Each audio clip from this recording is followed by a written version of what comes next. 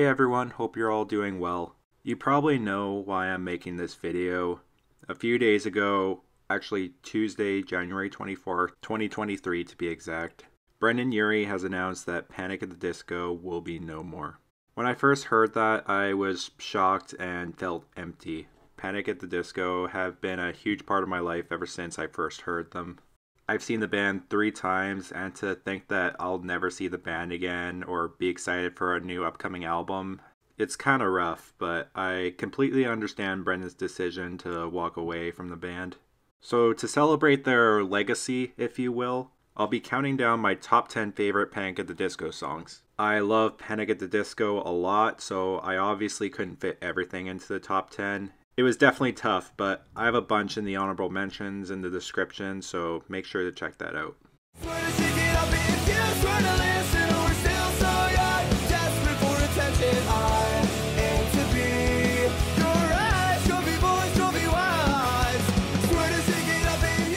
At number 10, we have the only difference between martyrdom and suicide is press coverage. I think this track was a great opener to the album A Fever You Can't Sweat Out. I love the acoustic guitars that start off the track and when the distortion gets turned on. The chorus is super fun to sing along to, and I love the electronic break in the bridge, which leads to Brendon going Swear to Shake It Up, leading right back into that catchy chorus. Definitely an underrated song.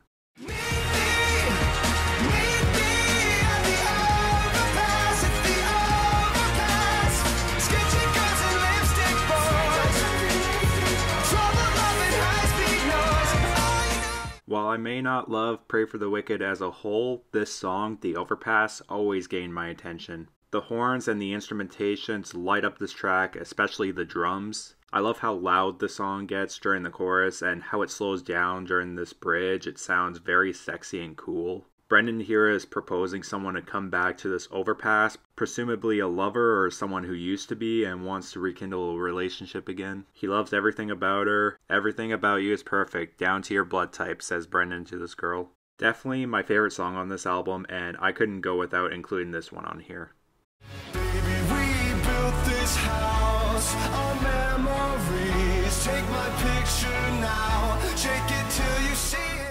House of Memories is a track from Death of a Bachelor, and you don't know how happy I am that I finally got to hear the song live after many years of loving this song. I really love the writing and the music surrounding this track. It feels very touching, and it's something I desire and come back to more and more. The piano and Brendon's soaring vocals make this track, and honestly has one of the best choruses that stands with the other greats. At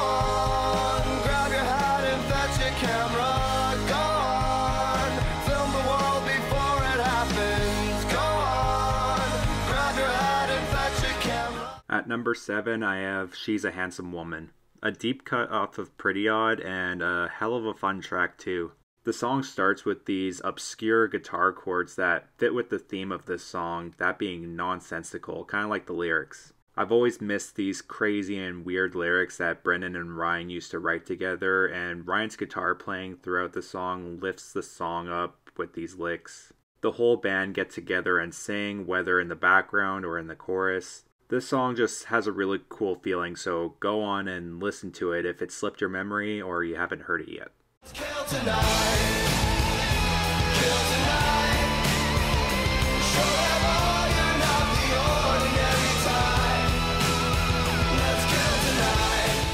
Number 6 is a track off Vices and Virtues called Let's Kill Tonight. This track always sounded so cool to me. The way the chorus sounds with that soaring guitar and Brendon's delivery, it just sounds very epic. I also love the use of claps and stomps, all these weird noises you pick up every time you listen. There's a lot of layers to this one.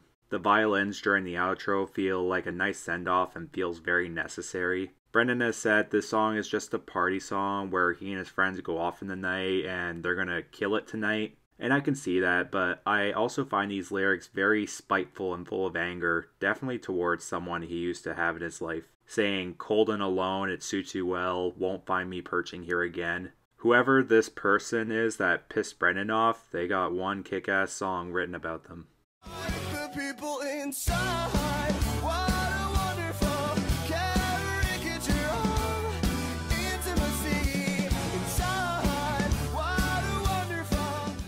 Earlier in this list, I had the opening track to A Fever You Can't Sweat Out, and now I have the closing track, Build God, Then We'll Talk.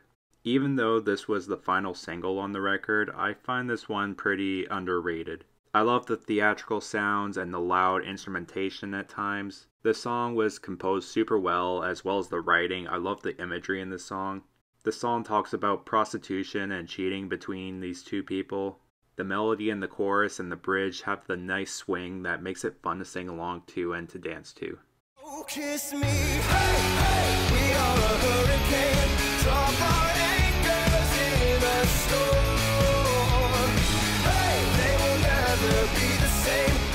Number four is Hurricane. Hurricane is about a passionate relationship that eventually fizzled out and lost its spark.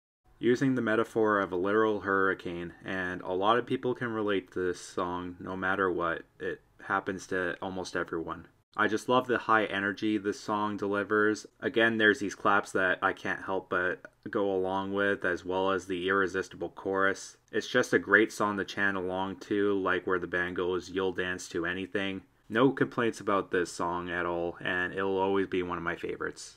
Oh,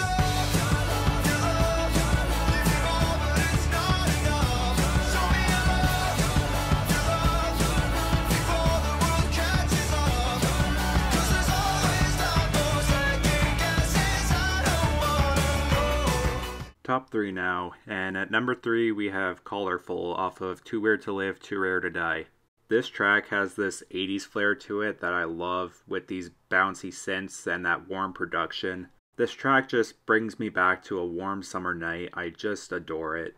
Brendon's out chasing this girl, and I love this lyric If you're gonna be the death of me, that's how I wanna go.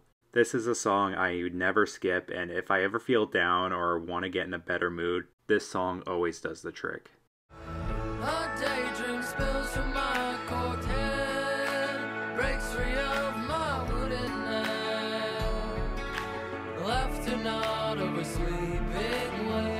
Bet you didn't expect this track to pop up, did you? Behind the Sea is, without a doubt, the band's most underrated song in my opinion, and as you can tell from the little snippet, it's not even Brendon's song, or at least he's not in the forefront. The song was sung by Ryan, and the way he sings and plays guitar always gives me chills. It's hard to explain. The echoing effect on that opening guitar riff, the beautiful plucked guitar, and Ryan's haunting harmonies just make this track amazing to me. As always, when it comes to Ryan, his imagery and these lyrics are spectacular. His writing is so, so good. Then, when Brendon and Ryan start singing together, it sounds fantastic, and we get this outro that turns whimsical and fun to sing along to. Then you get this orchestral climax that's reminiscent to A Day in the Life by the Beatles, with Ryan even saying so close just before the track ends. I wish more people came to appreciate this track, and honestly, just pretty odd in general.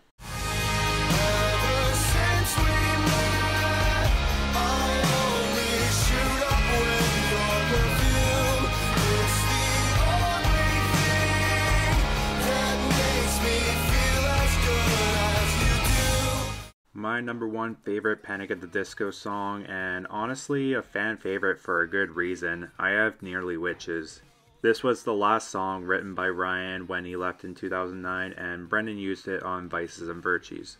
This track opens with a children's choir before the band kicks in with the stuttering guitars. I love the impact with every strum. I always picture Brendon performing this at a cabaret theater like he was back in the Fever You Can't Sweat Out days. This song just always has that vibe to it. And man, when that chorus hits, it just transcends me and lifts me up. It's so orgasmic and euphoric. The harmony and the melodies behind Brendon are what make this song mostly the way the song raps with keeping that chorus energy while having the children choir come back and sing Mona Lisa, Please to Please Ya, it's just amazing. It makes the album feel complete by bringing it back to the first track of the album while this song closes things out. I really wish I could have heard this song live because if this song gives me this type of feeling with the studio version, I couldn't imagine what the live version could do.